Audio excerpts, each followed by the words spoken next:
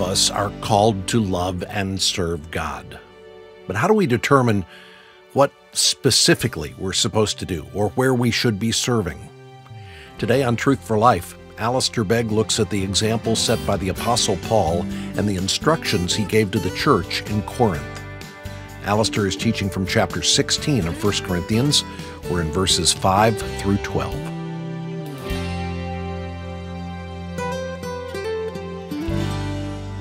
That is one of the great debilitating factors in involvement in Christian ministry. People are afraid of rejection. The answer is listen, if God puts his hand upon you, shows you the pink slip, sign your name on the pink slip and do the job, would you? Accept your limitations. You can't do everything. Assume your responsibilities. You can do something. And don't let the evil one tell you that because you're young, frail, and timid, that it's everybody else's job. Or that you're old, frail, and timid. When Paul addresses the matter of the Thessalonians and of the leadership amongst the Thessalonians, it is interesting that he encourages the people amongst the Thessalonian believers to hold their leaders in the highest regard in love, not because of their personality, but because of their work. You see, when Paul commends Timothy to the Corinthians, he says, When Timothy comes, see that he has nothing to fear while he is with you, because he's a great guy. No. See that he has nothing to fear with you with, when he's with you, because he's got a sense of humor, just crack you up.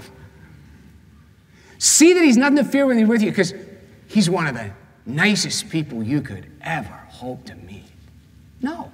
See that he has nothing to fear while he's with you because he is carrying on the work of the Lord.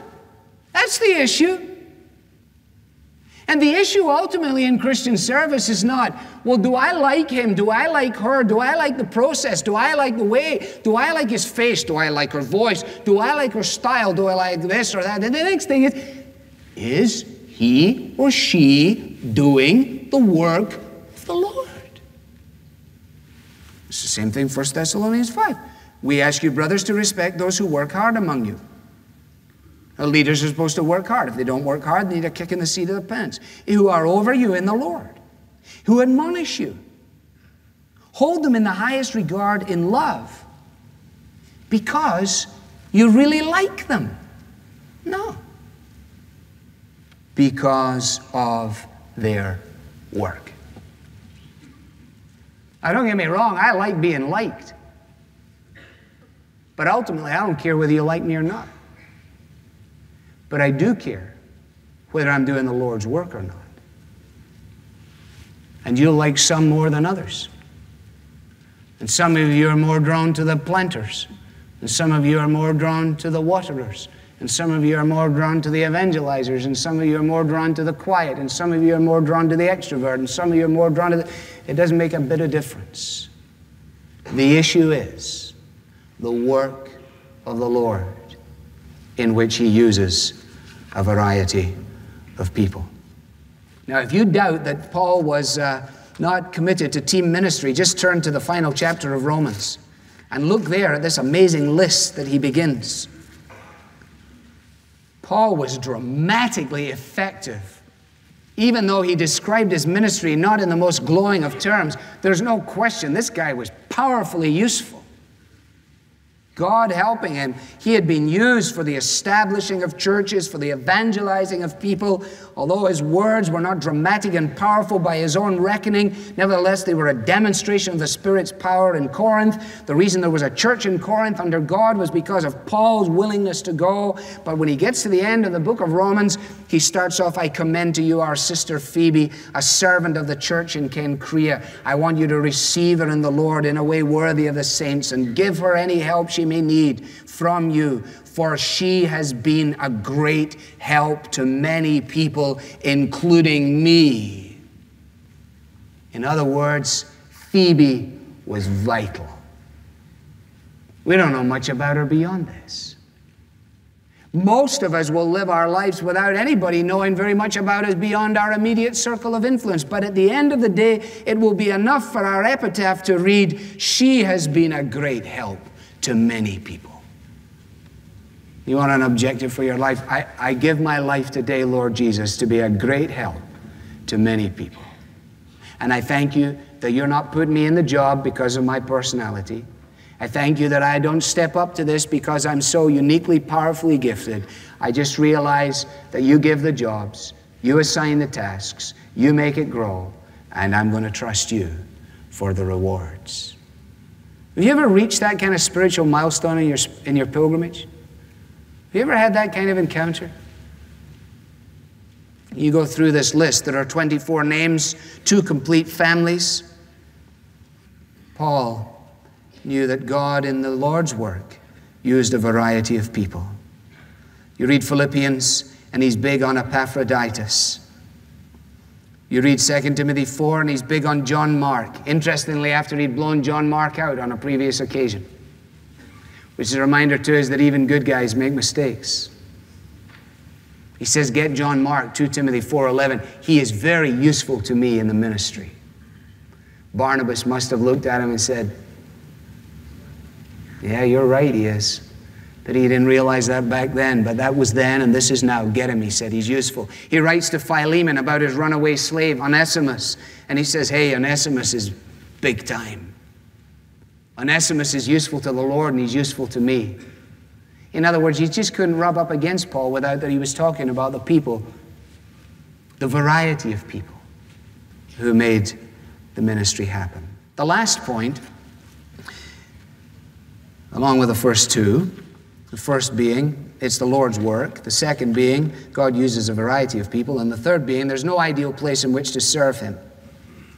Paul talks here about Ephesus, he talks about Macedonia, he talks about Corinth, he talks about maybe staying, about going, about he doesn't want to come for a little while, he wants to come for a longer while, and so on. But irrespective of geography, he realizes all that he's supposed to be doing is evangelizing and edifying. And I like Paul for a variety of reasons, but one of the reasons I really like him, not that you care whether I like him or not, but uh, the, one of the reasons is he's always looking ahead, he's always planning. There's nothing static about Paul. He's not in some little cottage somewhere on the Adriatic Sea having people come and kiss his fingers because he's such a mighty apostle. He's like a general poring over a map in the battle headquarters saying, Now, where can we go next? Where can we send the next group of troops? Where can we go get the enemy and give him a hiding next? He's always looking out. Maybe Ephesus, maybe Corinth, maybe I'll go to the, the, the departments of Achaia, maybe I'll go to Laodicea. Now, what about Iconium and Lystra? Now, let's go to Derbe. The guys, go, go, go, go. He's all the time thinking, we can go there there, we can do this, we can do that. And people got to get say, hang on, Paul, wait a minute. Some of us, our vision didn't go beyond the end of our nose. We're happy with us four, no more, shut the door. We're happy with a Bible study group, rub each other's backs, and turn ourselves into great fathers. So we can all sit around and commend ourselves for being great dads for the rest of our lives, while the world outside wonders who in the world's this Jesus of Nazareth person? The end is the evangelization of the world. That's the end. And that's Paul's great calling. He didn't choose places for ministry that would suit his convenience or his pleasure. Unlike many who are looking for opportunities in ministry today, I am staggered by the letters that I get for young men looking for places of ministry. They want the church to be at least 500 members. They want it to be a, quote, white collar church. They want it to be a multiple staff church. They want it to be a church in which they can have this, this, this, this, and this, and this, and this, and blah, blah, blah, and blah, blah, blah. And P.S., we'll be very, I will be very happy to come and serve along with you if uh, you realize how brilliant it would be for you to invite me to be a member of your pastoral team. No, I don't think I would like to be in Michigan. Michigan is a little cold in the winter. No, I don't think I would like to be in Florida. It's rather steamy in the summer. No, I don't think I would like to be in New England. There's too many pagans up there. Well, where would you like to be? Let's just determine where you would like, John, and then we'll just get you in the ideal spot. You go back into the Acts of the Apostles and ask yourself whether Paul was involved in ideal places of ministry. Acts chapter 14. He comes out of Iconium with people coming flying at his heels. Verse 5 a plot amongst the Gentiles and the Jews, together with their leaders, to ill treat them and to stone them. How's it going in Iconium? Not so good. Where are you going next? Well, we're going to hit Lystra and Derbe. So they go to Lystra and Derbe. We're in Acts chapter 14 and verse 19. Then some Jews came from Antioch and Iconium and won the crowd over. They stoned Paul, dragged him outside the city, thinking he was dead. No, Paul was not on the Adriatic in a little cottage. Paul was in the thick of the battle. He accepted the challenges and the oppositions. He accepted them not as a hindrance, but as a great privilege. And you have this amazing paradoxical statement here. There is, he says in Ephesus, a great door for effective work that is open to me, and there are many who oppose me. Let us be done once and for all with the idea that if you're really in touch with God, if you're really in the place you should be, it all goes smoothly. That is a prevalent notion, it is an unbiblical notion. This is perfect. Great opportunity, great opposition. Do you think that you can invade the territory of the damned and not face opposition?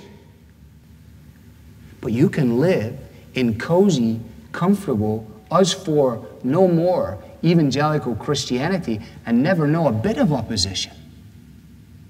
You can silence your witness so well in your office that you'll never have anybody say anything bad about you. And you'll assume that because everybody likes you and thinks you're great, that you're really being effective for the gospel, when in point of fact, you are anemic, you are benign, you are ineffective, you are useless. And so am I. A great door of opportunity and opposition. Now, if you have any doubt about it, just look in Acts chapter 19 because it's described there. Ephesus had an elaborate system of organized idolatry.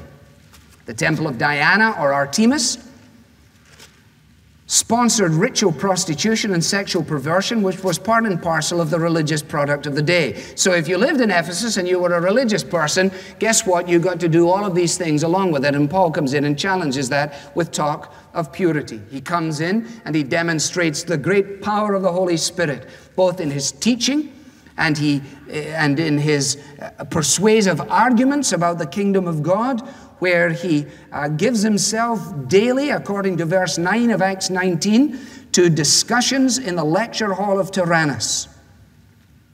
You want to build a work of God? Then here's one way to go at it. Spend two years every afternoon, find a public building, go in there and just argue with people and discuss with people the reality of who Jesus is, why he came, and what he's about. And as a result of that, all kinds of things happen. There are some Jewish exorcists that are described in verses 13 and 14. He has to deal with them. There are occult practices in verses 17, 18, and 19. And you have this big, fantastic bonfire that takes place when, in discovering the truth that he's proclaiming, they begin to burn their scrolls. In other words, what happens is the palm readers get converted, bring all their claptrap out, and burn it. And what about the little silversmiths under the prosperous control of Demetrius? Verse 24. Demetrius had a great gig going. He's building these little silver deals that are directly related to all the cultic prostitution of the temple of Artemis. It's perfect for people. You can be religious and do what you want with whoever you want, anytime you want. People love that kind of religion. We'll give you a religious experience with no rules. You can do what you want with who you want, anytime you want, and just find your own God. People say, sign me up for that. In comes the Apostle Paul, says, no, no, that's totally bogus.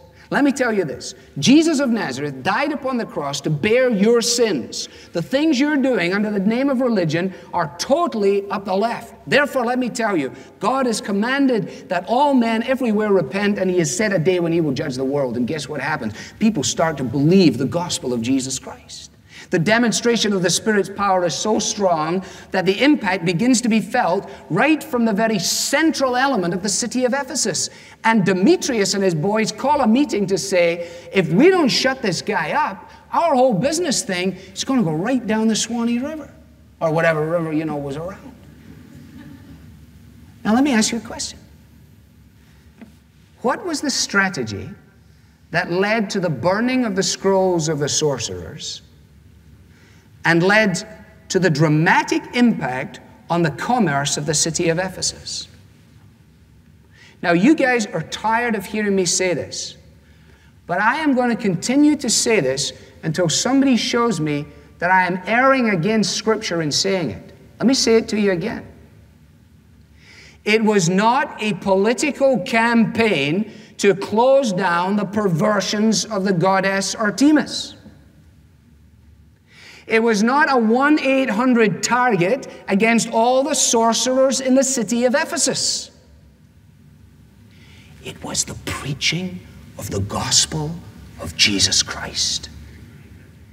And a lady whose life was consumed with reading palms began to read her Bible. And she closed her shop. And a man who was making a healthy living from prostitution and sexual perversion was redeemed by Jesus Christ and he closed his stall. We have been sold a bill of goods uniquely in America that somehow or another we are going to be able to legislate sin out of this country. And I want you to know it will never, ever, ever happen. That is not the same as saying that we should not strive for godly legislation. Yes, we should. It is not the same as saying that we should not be involved in the political democratic process. Yes, we should. But it is saying this we will never, by means of political manipulation, ideology, and 1 800 numbers, see the sorcerers and the sexual gods and goddesses brought to destruction. Only one way by the power of the cleansing blood of Jesus Christ. And when the church gives up on that message, it will be forced to find another message, as it has. And millions and millions of dollars are currently being generated to try and make this a nicer place for us all to bring up our children and our grandchildren. Well, poor old Paul, he says, You know, I'm going to stay longer at Ephesus because it's really ideal. Let me tell you about Ephesus. It's full of paganism, idolatry, occultism, demonism, superstition, sexual vice, racism, religious bigotry. And what does Paul say? A great and effective door has opened to me. Now our time is gone. So let me make three points of application on each point. Number one, the Lord, the work to which we're called is the Lord's work. Therefore, my home, my employment, my vocation, my vacation, my friendships, my college, my leisure, my society, my culture, everything that goes up to making the content of my days is claimed by Him and may be dedicated to Him. Secondly, He uses a variety of people to do His work, therefore, He can use you. And He plans to use you. Only to be what He wants me to be every moment of every day, yielded completely to Jesus alone, every step of the pilgrim way, just to be clay in the potter's hands, ready to do what his will commands, only to be what he wants me to be every moment of every day. It won't be the same for all of us. For me, that kind of crisis, crossroads encounter in my life redirected the whole span of my future. For you, it may send you back with renewed emphasis to the work of your corporation, to the task of mothering, to the opportunities of singleness, to the responsibilities of academia, whatever it might be. But every inch of this great variety of people. And then the last thing there's no ideal place in which to do the work of the Lord except the place He puts you. You're still living with the idea that there's an ideal place to serve God? There isn't. When I came here in 1981, I came to Cleveland, never been here before, looked for it on the map, preached in Cleveland, then went to San Jose and preached there. The people in San Jose were really proud of San Jose. They told me it was very cool in the mornings, got to the optimum temperature around midday, cooled off in the evenings. It was beautiful riding bikes, fabulous for golf. It really was exceptional. Took me in a private plane and flew me all over San Jose and down over San Francisco Bay and down over San Quentin or wherever it is and down over the Golden Gate Bridge, 500 feet above the Golden Gate Bridge. One of the elders in the church just cruising me all around. Took me home, parked the plane, got me in a car, took me to the country club for dinner, showed me all the fairways and the lush green. And they said, Now, don't you think this would be an ideal place to serve Jesus Christ? And then I thought, well, what about Cleveland? What do I remember about Cleveland now? Cleveland, was I in Cleveland? Oh, yeah, I remember Cleveland. I remember driving from the airport, and I remember that wind blowing off those chimneys there on the freeway. But you know what? Cleveland is like paradise to me. I don't mean that in any funny kind of way. God has made of this place to me a paradise because of the relationships He's given me with His people, because of the opportunities that He grants in ministry, supplying the needs of my wife and my kids and myself far and beyond our ability to even cope. I don't say it out of any sense of self preoccupation. I just say it to say I've proved again that God is no man's debtor. You can give up your mom, your dad, your brothers, and your sisters for the sake of the kingdom of God. And you will receive a hundred times more in the present age and in the age to come. It's God's work he uses a variety of people. And there's no ideal place. Thinking of leaving your home because your marriage isn't ideal? Thinking of moving on because your boss isn't ideal? Thinking of leaving Parkside because we're not ideal? There is no ideal place to serve God except the place in which he sets you down.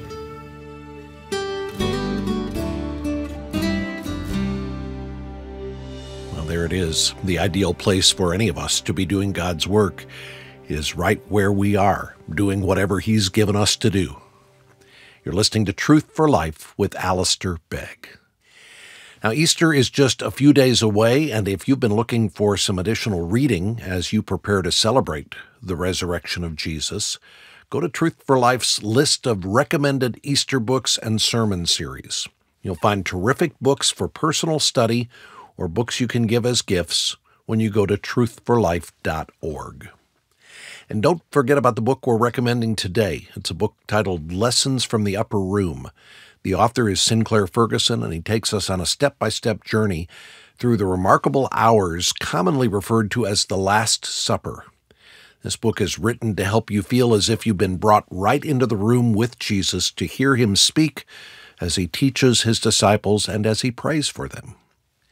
Request your copy of the book Lessons from the Upper Room when you give a donation at truthforlife.org/donate. By the way, in addition to reading the books we recommend, there are articles available on our website on a wide variety of topics that draw from Alistair's teaching. We post new articles each week. Check it out online. Go to truthforlife.org/articles. I'm Bob Lepine.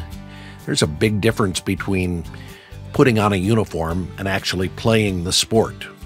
Well, in the same way, being a Christian is about more than just looking the part.